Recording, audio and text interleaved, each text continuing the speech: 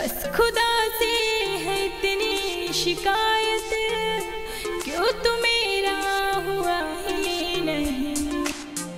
कुछ लम्हों की मांगी थी मोहलत, क्यों तू मेरा हुआ ही नहीं?